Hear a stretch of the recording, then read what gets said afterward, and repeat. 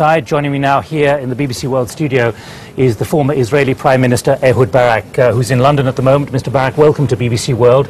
First, your reaction, having heard what's happened. At least four planes have been hijacked, and uh, there may be more.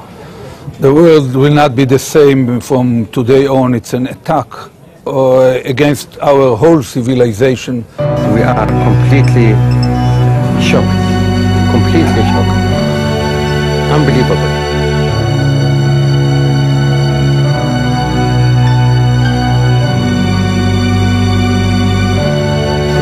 Completely Yeah, shocked. Completely shocked. Unbelievable. we fight for peace, this godly matter. What lies, what's children scatter? Cause we fight for peace and we breathe the truth. No lies precede the latter. So we poise these arms for skies are grey and F-16 stay flying. And for the child that smiles today, tomorrow will be dying. All precious gems in gold we trust And democrats dictating wars Did lost. For love and live to lust. For our rules we must applaud. For these taxes paid must spend so well. Now watch them televise Zion.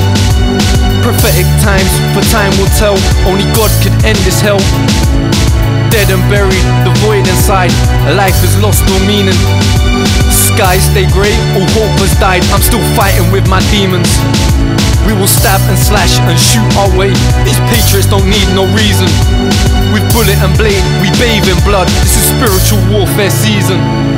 We fight for freedom. Yeah, I felt it was right, but now I'm women and children.